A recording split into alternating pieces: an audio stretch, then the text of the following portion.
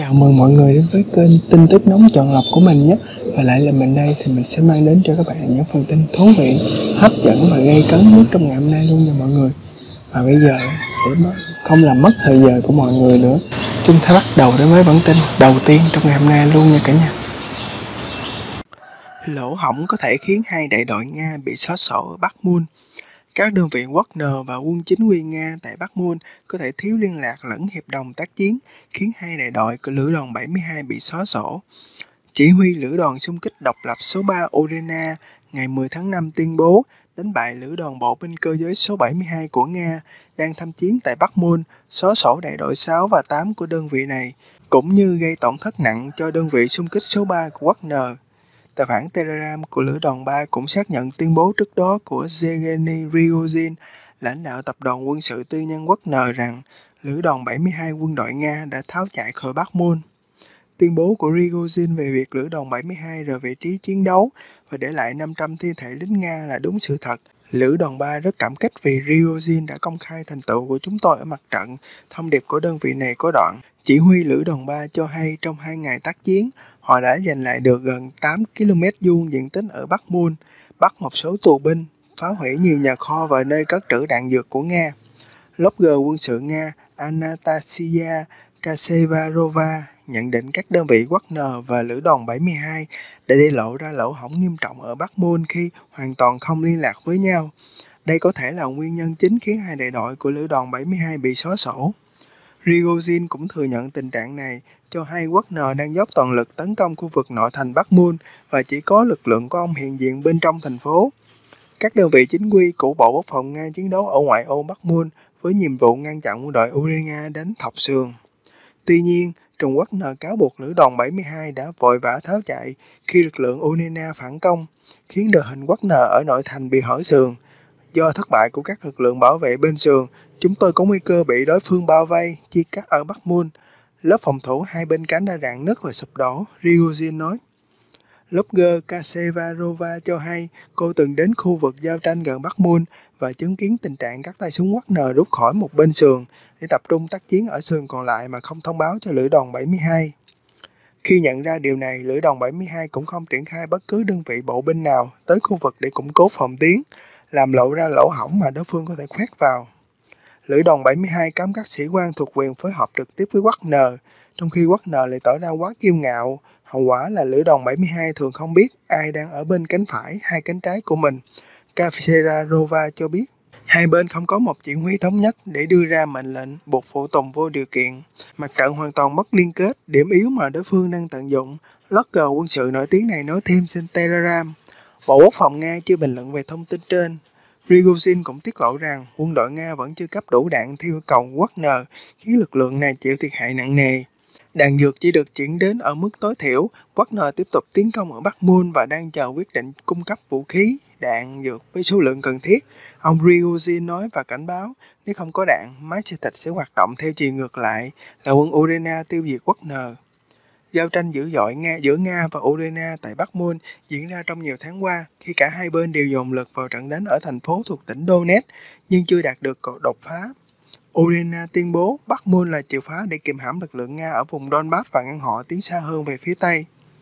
Các đơn vị Wagner đóng vai trò xung kích trong chiến dịch tiến công thành phố, nhưng Girosin đe dọa sẽ rút khỏi đây do đã cạn kiệt sức lực chiến đấu. Tin tiếp theo, Điện Kremlin nói sẽ không ai dám thực thi lệnh bắt ông Putin. Điện Kremlin cho rằng tòa hình sự quốc tế là con rối của phương Tây và không ai dám thực thi lệnh bắt tổng thống Putin của tòa này. Khi tòa hình sự quốc tế ICC ra lệnh bắt, họ nghĩ rằng có những quốc gia thiếu chính kiến muốn hành động theo lệnh đó nếu có cơ hội, nhưng thật khó để tưởng tượng rằng có ai dám thi hành lệnh đó đối với Tổng thống Nga Phát ngôn viên Điện Kremlin Dmitry Peskov trả lời phỏng vấn hôm 10 tháng 5. Bình luận của ông Peskov đề cập lệnh bắt Tổng thống Vladimir Putin mà ICC ban bố hồi tháng 3 với cáo buộc di chuyển bất hợp pháp trẻ em Ukraine sang Nga. Moscow gọi lệnh bắt của ICC là vô nghĩa. Nga từng tham gia ICC nhưng đã rút lui và không công nhận cơ quan này. Thật không thể tưởng tượng được, ông Bekov nói, lưu ý rằng Nga là một trong những quốc gia lớn nhất thế giới và là một trong những cường quốc hạt nhân lớn nhất trong hoàn cảnh hiện tại, chúng tôi coi ECC thực tế là con rối của phương Tây. bị lợi dụng để gây áp lực lên đất nước chúng tôi. Họ sẽ không thành công, phát ngôn viên Điện Kremlin nhấn mạnh. Đề cập vụ UAV tấn công Điện Kremlin ngày 3 tháng 5, ông Peskov nhấn mạnh địa điểm này là nơi ở của Tổng thống Nga. Chúng tôi có thể coi đó là nỗ lực thực hiện hành động khủng bố nhằm vào Tổng thống Nga. Bằng cách này, Ukraine tự đặt họ ngang hàng với nhà nước bảo trợ chủ nghĩa khủng bố. Ông cho hay thêm rằng chính quyền Nga đang và sẽ tiếp tục thực hiện mọi biện pháp có thể để đảm bảo an ninh. Kiev cho rằng 345 trẻ em Ukraine biến mất từ khi xung đột bùng phát, đồng thời cáo buộc Nga đưa nhiều em tới nước này. Trong khi đó, Nga khẳng định đã sơ tán trẻ em khỏi vùng xung đột nguy hiểm ở Ukraine và sẽ hồi hương các em khi đủ điều kiện an toàn. Về mặt lý thuyết, lệnh bắt của ICC yêu cầu 123 nước thành viên bắt Tổng thống Putin và chuyển đến Hà Lan để xét xử nếu ông đặt chân đến lãnh thổ của họ. Tuy nhiên, giới chuyên gia đánh giá kịch bản này khó xảy ra bởi không phải mọi quốc gia đều tuân thủ phán quyết của tòa. Tổng thống Nga có khả năng tới thăm các nước mà Moscow cho là không thân thiện. Nga tuyên bố đạt một phần mục tiêu chiến dịch tại Ukraine. Phát ngôn viên Điện Kremlin nói, chiến dịch tại Ukraine đã hoàn thành một phần mục tiêu đề ra, nhưng cần tiếp tục để đẩy lùi lực lượng của Kiev. Chiến dịch tại Ukraine vẫn tiếp diễn. Đây là hoạt động quân sự rất phức tạp. Một số nhiệm vụ nhất định đã được hoàn thành trong một năm qua. Phát ngôn viên Điện Kremlin Dmitry Peskov cho biết trong cuộc phỏng vấn trên truyền hình hôm 10 tháng 5. Ông nói rằng Tổng thống Nga Vladimir Putin từng đề cập nhiệm vụ bảo đảm an toàn cho người dân vùng Donbass trong thông điệp phát động chiến dịch ngày 24 tháng 2 năm 2022. Phương Tây hoàn toàn phớt lờ những người dân phải sống dưới làng bom đạn trên đất nước của mình suốt 8 năm trước đó, phát ngôn viên Bekov cho hay. Tuy nhiên, quan chức điện Kremlin thừa nhận Moscow mới chỉ giải quyết được một phần nhiệm vụ, nhấn mạnh nhiều khu vực do Nga kiểm soát hiện nay vẫn liên tục bị quân đội Ukraine pháo kích. Rõ ràng là cần đẩy đối phương ra xa hơn nữa, ông nói. Phát ngôn viên Bekov thêm rằng nhiệm vụ quan trọng không kém của chiến dịch là phi quân sự hóa Ukraine. Quân đội Nga đã phá hủy nặng nề bộ máy chiến tranh của Ukraine. Tên lửa chính xác cao đã giúp phá hủy nhiều nhà máy quân sự, năng lực sản xuất quốc phòng và kho dự trữ vũ khí đối phương. Công việc này sẽ được duy trì, ông nhấn mạnh. Tổng thống Putin ngày 24 tháng 2 năm 2022 phát động chiến dịch ở các nước láng giềng với mục tiêu phi phát xít hóa, phi quân sự hóa Ukraine cũng như bảo vệ người nói tiếng Nga ở vùng Donbass.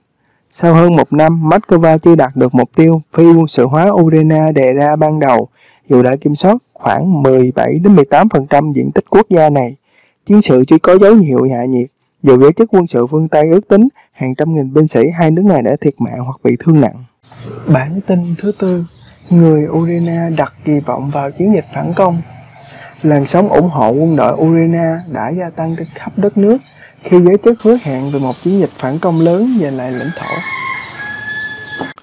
Ngày 24 tháng 2 năm ngoái, những tiếng nổ lớn lúc tinh mơ đã đánh thức Kiribo Bosisenko khi biết tin Nga đã tấn công vào lãnh thổ. Borisenko, 24 tuổi, gia nhập lực lượng tình nguyện và suốt 4 tuần sau đó tham gia hỗ trợ đẩy lùi quân Nga khỏi thị trấn quê nhà Rovari ở phía bắc thủ đô Kiev. Nhiều nước phương Tây khi đó dự đoán Kiev sẽ thất thủ chỉ trong vài ngày và kêu gọi Tổng thống Volodymyr Zelensky sơ tán. Borisenko luôn tin đất nước cuối cùng sẽ chiến thắng. Trong những ngày gần đây, Borisenko thu thập các khoản nguyên góp cho quân đội và tự tin rằng Kiev sẵn sàng bắt đầu phục phản công chờ đợi từ lâu. Tới cuối năm nay, chúng tôi sẽ giành lại tất cả lãnh thổ, kể cả bán đảo Crimea, Borisenko nói. 68% người Ukraine muốn giải phóng hoàn toàn các vùng lãnh thổ mà Nga kiểm soát, ngay cả khi cuộc chiến kéo dài hơn và sự ủng hộ của phương Tây suy giảm. Theo kết quả khảo sát của Viện Xã hội học Kiev hồi đầu tháng 3, một cuộc khảo sát khác của công ty thăm dò Ratin hồi tháng 2 chỉ ra 95% người Ukraine tin chiến thắng là điều hoàn toàn chắc chắn. Điều này khác biệt rõ rệt so với trước khi xung đột nổ ra.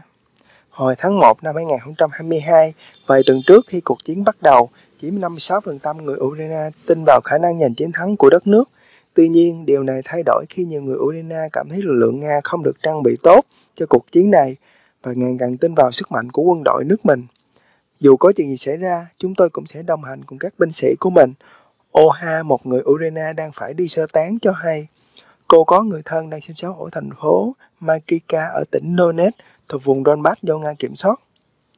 Oha cùng chồng rời khỏi thành phố Makika năm 2014 sau khi phe ly khai tuyên bố thành lập Cộng hòa Nhân dân Donetsk vợ chồng cô đã tái định cư tại Kharkov, thành phố lớn thứ hai ở đông bắc Ukraine.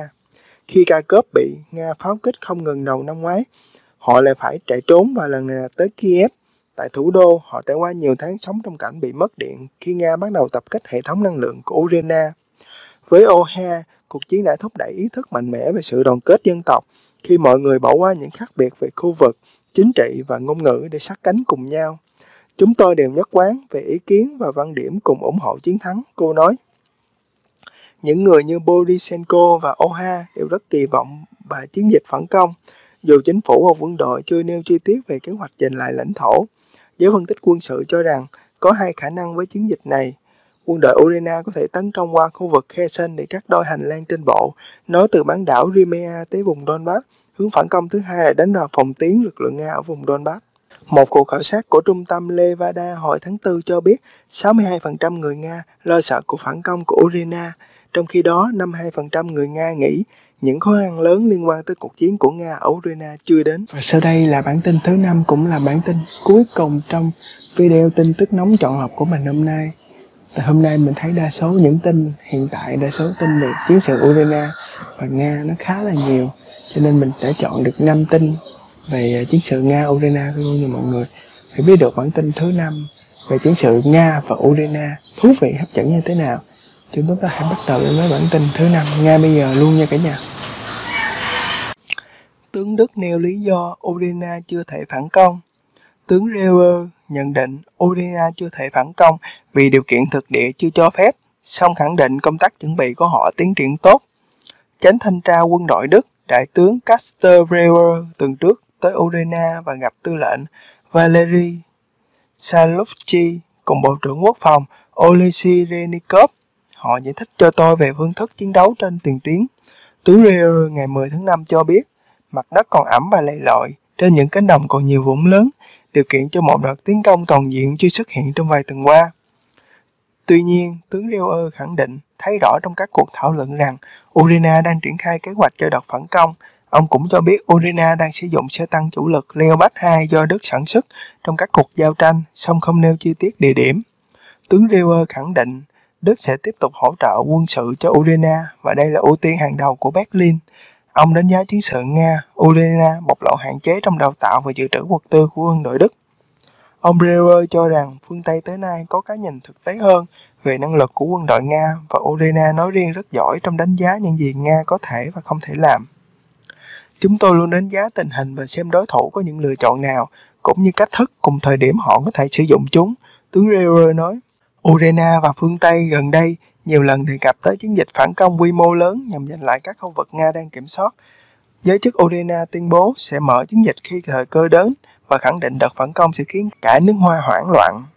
Tài liệu của Lầu Năm Góc bị rò rỉ gần đây cho biết Ukraine dự kiến huy động ít nhất 12 lửa đòn cho chiến dịch phản công ở phía đông và phía nam Tuy nhiên, nhiều quan chức Mỹ lo ngại nguy cơ bị công kích nhiều mặt nếu đợt phản công của Ukraine thất bại hoặc không đạt được kết quả đáng kể. Một báo cáo được soạn hồi tháng 2 nhận định Irina khó đạt được mục tiêu trong đợt phản công. Các báo cáo gần đây đánh giá Irina có thể đạt bước tiến ở miền Nam và miền Đông, song không thể lặp lại thành công như đợt phản công bất ngờ hồi tháng 9 năm 2022 ở tỉnh Karab. Giới chức Urina đang cố gắng hạ thấp kỳ vọng về chiến dịch phản công do lo ngại những gì diễn ra có thể không như mong muốn. Nhiều chuyên gia phương Tây nhận định sau khi Nga củng cố phòng tuyến dài hơn 1.000 km, các đơn vị Unina khó có thể tiến xa trong đợt phản công với nguồn lực hiện nay. Các bạn hãy cho kênh của mình một lượt đăng ký, cũng như là bật cái chuông thông báo để nhận được những video mới nhất khi kênh của mình ra video mới nhất nha mọi người. Và bây giờ thì thay mặt cho ekip của tin tức nóng chọn lọc ngày hôm nay, thì mình xin cảm ơn tất cả các bạn đã chú ý lắng nghe. Và hẹn gặp các bạn vào những bản tin kế tiếp.